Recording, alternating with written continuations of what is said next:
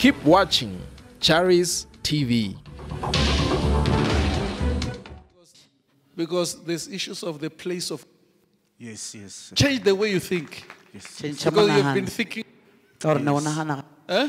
Yes, I've been thinking a lot. You've been thinking a lot. kgale sela Change the way you think. tšhentšha mokgwa wa gago wa o nagana I'm telling you now when I'm pointing at Yep. you that God is going to give you money and bless you a o with šofatše a place of worship. ka tulo yo Come and give us a testimony. o tla fa bopaki You'll come and give us a testimony. amen It does not need me to struggle.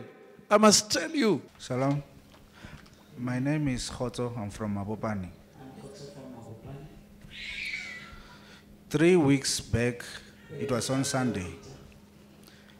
Uh, they did give a, a, a prophecy to me about a land. He said to me, I must not worry about the land, the place of worship.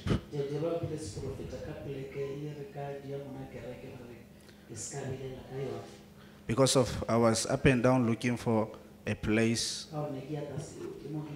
for the church. Then when I left that day,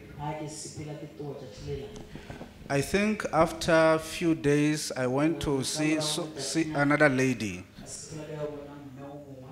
And he went with me to see a land that um, was there in Soshanguve. And I met the person who's responsibility, who's responsible of that land. And the man told me that the land is available. I can give him 20,000.